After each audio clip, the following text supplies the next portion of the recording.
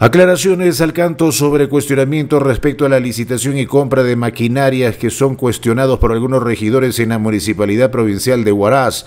Se dio a conocer que se consiguió a menor precio en tanto un supervisor externo evalúa los términos de referencia para su cancelación. En su momento, la Municipalidad Provincial, a través de sus técnicos, se ha hecho un expediente para la adquisición de todo el pool de maquinaria que se presentó a la, a la población eh, se ha licitado por cada ATIM, ¿no? Y entonces eh, se ha celebrado el contrato. ahora, del expediente de contratación, eh, que es alrededor de 7 millones en la totalidad de maquinaria, al momento de licitar, presentan sus ofertas y dichas ofertas en la sumatoria es inferior en casi medio millón de soles al expediente técnico. Ha habido un ahorro, entre comillas. Entonces, claro, entonces yo, también tomo con sorpresa escuchar que haya una sobrevaloración. Porque finalmente, para todo expediente técnico, en este caso compra de maquinarias, eh, hay un estudio de mercado previo. Y entonces ese estudio, ese estudio de mercado marca los precios. Entonces, eh, al respecto, si los regidores eh, ya lo han solicitado ya la información, se le va a alcanzar toda la documentación para que ellos puedan corroborar, contrastar con el mercado. ¿no? Ahora, también hay que ver un detalle. Eh, usted o cualquier ciudadano puede ir a cotizar, digamos, a una tienda comercial de un vehículo. Es un precio para el particular, porque el particular paga directo y rápido. Y en el tema de licitación hay una variación cuando son entidades públicas. ¿no? ¿Aproximadamente cuánto porcentaje más puede eh, ser? Alrededor de 15% varía, ¿no? Porque normalmente eh, es así en las licitaciones, ¿no? Entonces, eh, y eso todo, todo distribuidor lo, maneja así. Un precio directo para el público y otro precio para las empresas o entidades del Estado que licitan, ¿no? Entonces manejan precios diferenciados. de repente pasa eso puede pasar eso, ¿no? Entonces ahora está, la adquisición está dentro de lo correcto. Eh, en estos momentos eh, el especialista, es un tercero, está haciendo, preparando la conformidad, revisando a cada unidad que cumple el TDR para dar conformidad y recién pagar. De otro lado, reconoció que no se cumplió la meta de incrementar la ejecución presupuestal que culmina con el 15%. Sin embargo, para el año 2024 se vienen obras de envergadura, indicó, entre ellos el mejoramiento de tres importantes avenidas de la ciudad con un presupuesto recuperado de 20 millones de soles. Hasta ayer estábamos en el 16%.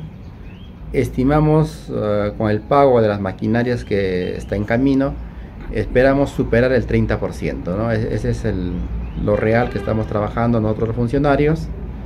Eh, no era esa la expectativa, nosotros queríamos llegar casi casi a los 50%. ¿Qué les, qué les Pero lamentablemente eh, hemos encontrado serias dificultades que dimos a conocer a los 100 días, dimos a conocer en la rendición de cuentas de manera semestral, que no hemos encontrado expedientes técnicos listos para hacer proceso de licitación.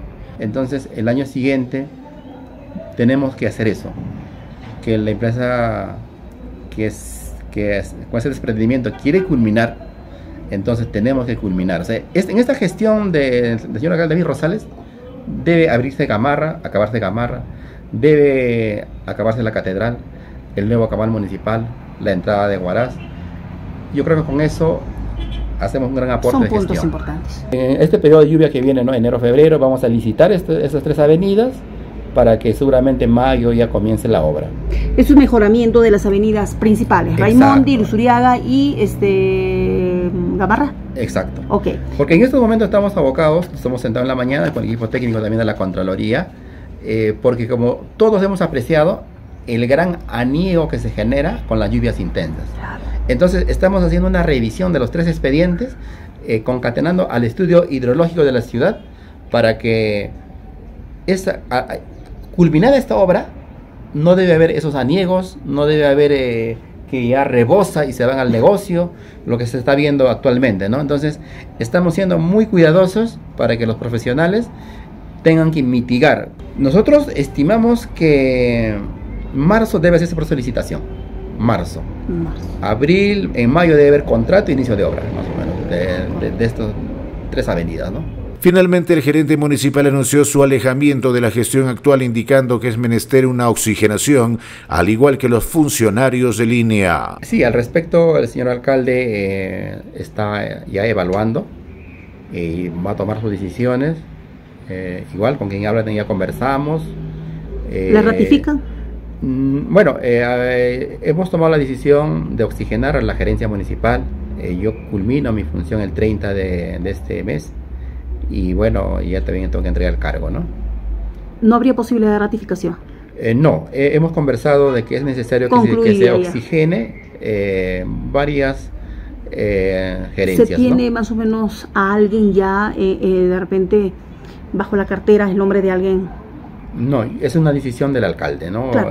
¿Eso conoce a alguien que pueda estar asumiendo ya? No se sabe. Eh, yo creo que seguramente el, el 30 debe aparecer el nuevo gerente municipal a quien debo yo entregar el cargo, ¿no?